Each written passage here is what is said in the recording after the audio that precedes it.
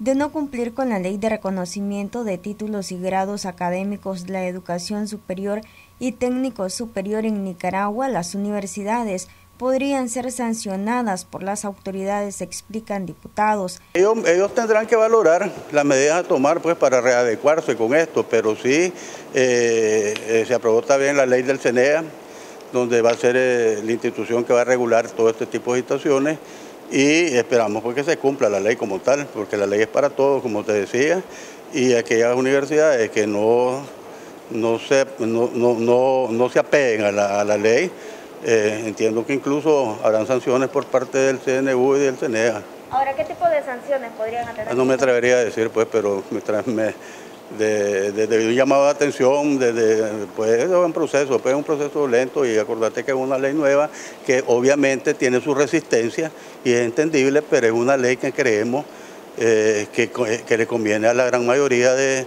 del pueblo y particularmente a los estudiantes de Nicaragua. García aclara que la normativa no contempla efectos retroactivos para quienes hayan iniciado su trámite de pago para el título universitario. Tal vez ahí quisiera puntualizar que la ley no tiene excepciones.